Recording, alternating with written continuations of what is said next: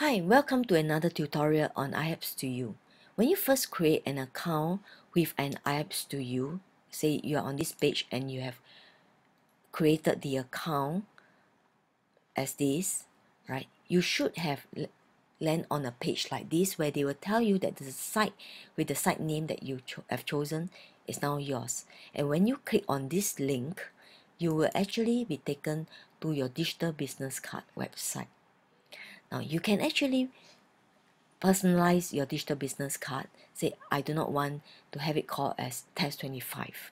Then what I can do is I click on customize. It will bring out the left panel that allows me to customize the settings. Go to site settings, site identity. Instead of test 25, maybe I want to call it my name, right, Estrella. And maybe instead of a, my business card, um, okay, I will choose a tagline, something like service first always, right?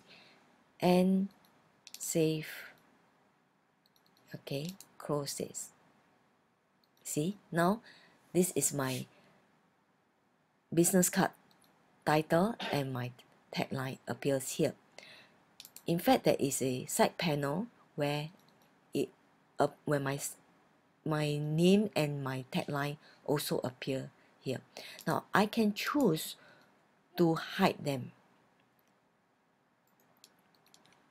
I go back to site settings, site identity, and perhaps I do not want my name to appear here. So I can click on hide title from the sidebar, right?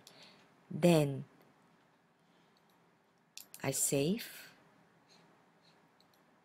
and close it. That's it. It disappear, but it still appear here. Alright, that's all for this tutorial. Thank you for watching. Bye.